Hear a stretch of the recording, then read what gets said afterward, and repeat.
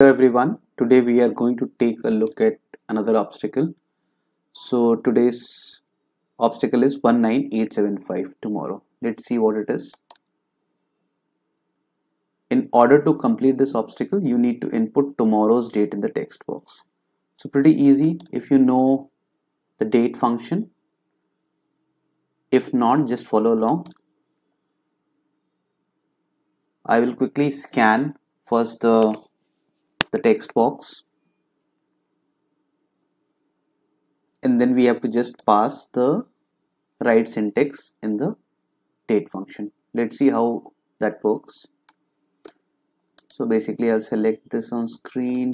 I'll put this here. Okay.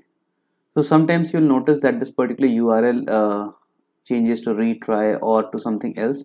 So good idea just for rerunning at a later point in time that you make the title more sensible so you can put a wildcard here.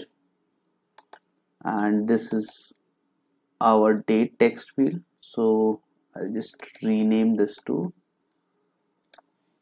obstacle 19875 and I'll copy this.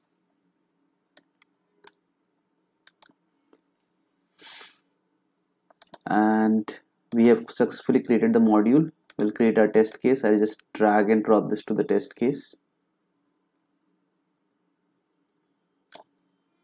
And I'll rename this to the obstacle number. Okay.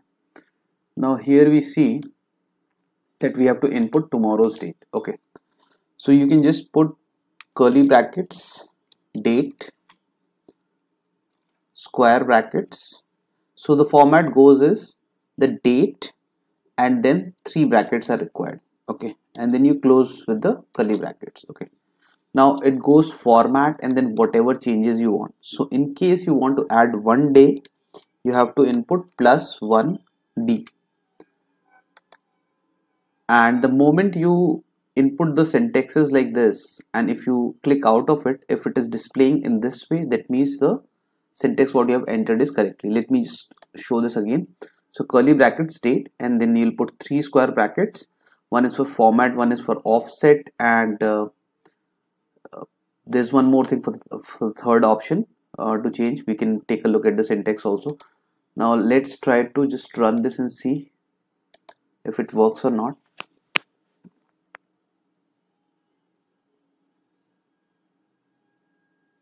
I'm planning to make a separate video on on the entire date format so in case that is needed do comment in this video and uh, I'll take a look into creating a detailed video on the dates. So we have successfully automated our scenario.